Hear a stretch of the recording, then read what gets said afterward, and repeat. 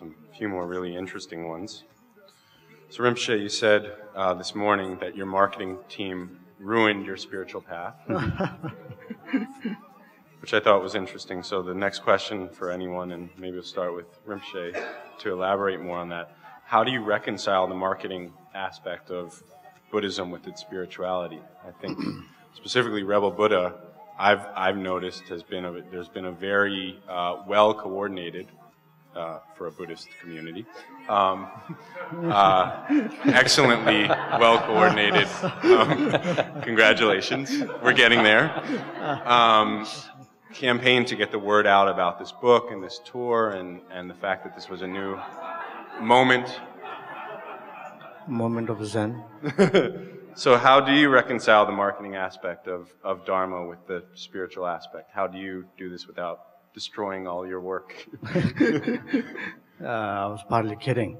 Uh, but uh, we were talking last night in New York with some of my friends here mm, that uh, I think how I see myself working with this uh, question is uh, working with my motivation, you know, my intention. Uh, what is this for?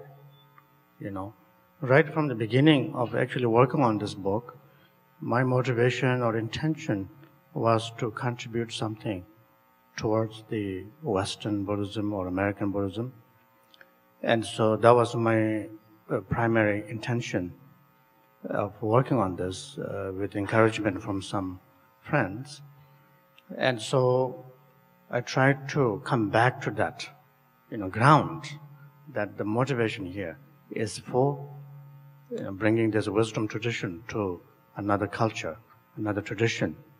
And uh, uh, it's not about me or it's not about uh, ego of any one of us, but it's about uh, this, you know, wisdom, and it's about how we can share this in order to benefit, you know, uh, others. And so I think that's uh, how I try to approach this. I think marketing, uh, you know, when we say marketing, um, some of us can just fall into this kind of simplistic view that we're, we're talking about uh, capital, we're talking about rich and poor, we're talking about abuse. So we get kind of carried away with that. And what I'm hearing uh, Rinpoche say, and, and you know, we advertise in in Buddhist magazines, and that's marketing. uh-huh. And uh, we have a website and all of that.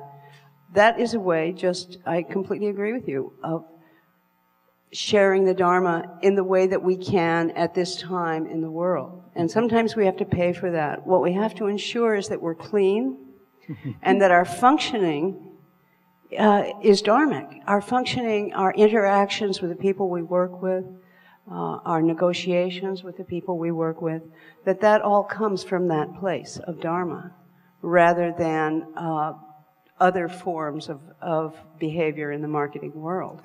Uh, so sometimes we push against uh, uh, this, the wave.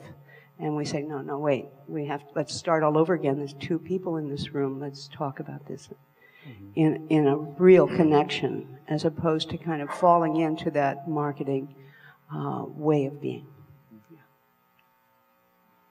And I think that, that uh, for whatever um, judgment we might have about marketing for those of us who watch Mad Men. uh, the, I think part of the dynamic of transformation means you have to meet, uh, you have to meet that which perhaps is uh, that you have resistance to. Uh, what is marketing? You know, I, that's probably a lot of concepts that that uh, describe a rough experience or, or a rough state of affairs and and um, by employing the kind of mindfulness and, and intention that, that were just spoken of, then we, we contribute to a, a broader potential for transformation. It's actually interesting because uh, if you don't do some kind of uh, like information sharing, then a lot of times people come to me and say, "How come you didn't let us know?" Mm. You know, so there's this uh, kind of uh, uh, two aspects. On one hand, like of course, we feel a little bit weird to, like Roshi said, and everyone here, weird to really put too much uh, effort in that uh, uh, commercial sense of marketing. But on the other hand, it's the only way sometimes to let uh, friends know that there is something happening.